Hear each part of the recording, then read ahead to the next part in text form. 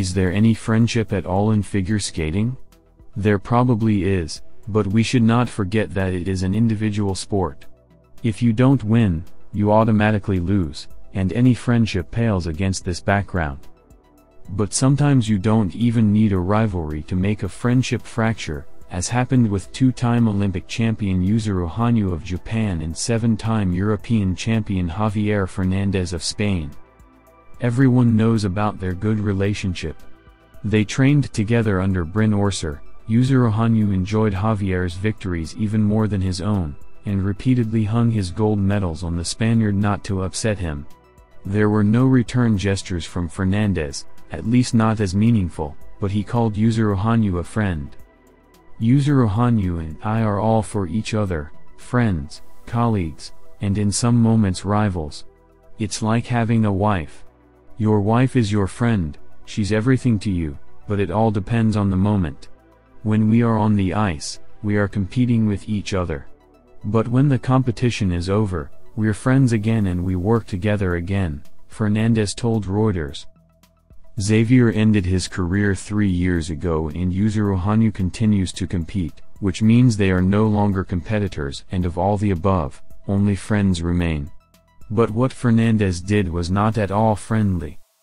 After the men's competition at the Olympics, where the Japanese took fourth place, Xavier published an open letter to Yuzuru Hanyu in the Japanese newspaper Sponichi, in which he said that the first thing he would do when he met Yuzuru Hanyu, and as if by chance promoted his ice show, expressing the hope that it would also take place in Japan. Everyone knows that Japanese shows fetch a good box office, especially if Yuzuru Hanyu is one of the participants. Here's a small excerpt from the letter. Your energy is inexhaustible.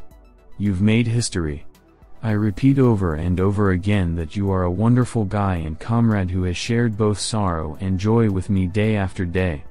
You and all my friends who trained with me at Brian Orser are truly precious to me, Fernandez wrote.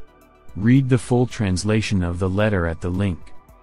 You'd think, what's the big deal? He praised his friend and got a little publicity, who doesn't? But just a few days later, Javier gave an interview on Spanish television and started talking in a completely different way. We all remember what happened in the short program. Yuzuru Hanyu skated into a hole in the ice on the fourth salchow, was unable to gain enough height to jump and ended up doing a butterfly. Yuzuru Hanyu himself said that was the reason for the mistake, but Xavier explained otherwise. Yuzuru Hanyu complained about the hole, but I don't think there was a hole. I think it's the right foot that skaters use just before the jump. If the foot is left behind at that point, the skate blade sticks into the ice and slows the rotation. I do believe this is Yuzuru Hanyu's mistake. Of course, the uneven ice surface is a problem, but anyone can play this game. Ice is the same surface for skaters as snow is for snowboarders. The snow is the same for everyone. If there is a hole, everyone could be trapped in it. For me it's a problem, but not an excuse, Fernandez said on Spanish Eurosport. You can say that being a friend doesn't mean not to criticize and you'd be right. But wouldn't a friend praise you in your country and promote yourself at your expense, while at home, he would say that your words are just excuses. But that's half the trouble. Javier denies the very fact of the pit, which everyone has admitted. Even before Yuzuru Hanyu gave the interview and explained what happened, reports of journalists present at the ice arena were circulating in the social networks about the hole, which was visible even from the back rows.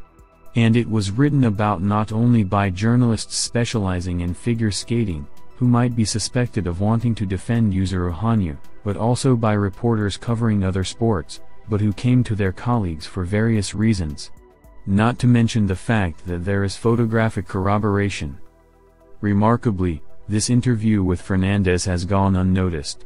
Although the fan community actively follows everything their idols say, especially in the off-season or if they have already finished their careers, and seeks to spread the new news everywhere.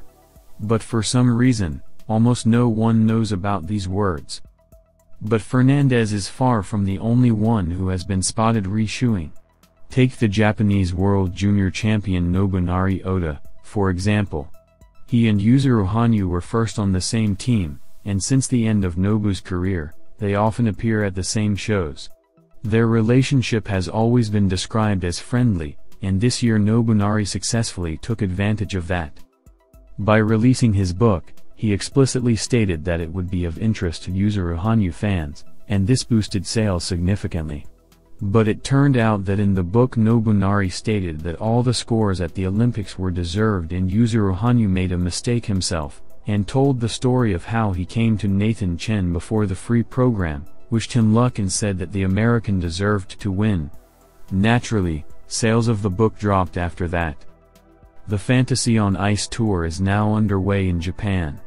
Yuzuru Hanyu, Fernandez, and Nobu are all taking part in it. The latter was the first to post a joint photo with Yuzuru Hanyu, which was the first news from Yuzuru Hanyu in three months, and fans immediately forgot about his controversial behavior and started wishing him well.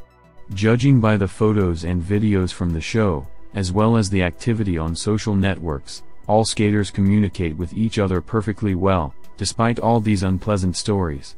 But we should not forget that Yuzuru Hanyu is a well-mannered man and a true Japanese. And in Japan it's not customary to express dissatisfaction, even if there is one. Fernandez, what game? You what? It's a problem, but that's no excuse. Yuzuru Hanyu February 9, 2022, inside, I know it wasn't a mistake, my blade got caught in the hole. Yuzuru Hanyu explained it accurately and cleverly, as always. It's been known for a long time, but there's a category of people who continue to believe that Yuzuru Hanyu and Fernandez are friends, or even more. It's no use talking to them. Seeing Yuzuru Hanyu smile at traders is wild. The explanation, as correctly written, is upbringing and the fact that Yuzuru Hanyu leaves the personal outside of work. There's no way he doesn't know that. The whole world knows. I sometimes think that Yuzuru Hanyu doesn't know anything, then maybe he doesn't need to know about everything? Let him have peace of mind. Yuzuru Hanyu is a smart guy with a great memory and a wildly developed sensitivity to people. Don't you trust him? You think he knows? I trust him in everything. But I think that's how he was brought up, to treat everyone in a friendly way. Maybe it's a Japanese mentality.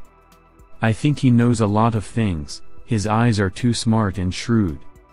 Japanese mentality, it certainly has an effect, and in almost everything. But I think Yuzuru Hanyu knew and read everything. Yuzuru Hanyu, even if offended, would not advertise it, not that kind of person. Of course, as I understand him. I've been reading a lot about him just lately. I didn't keep the links, of course, which is a pity. Yuzuru Hanyu's upbringing is great. He won't say anything unnecessary. But it's not his style to prove that he's not a camel either. He said there was a hole. Who didn't believe him, and even said so, is on their conscience.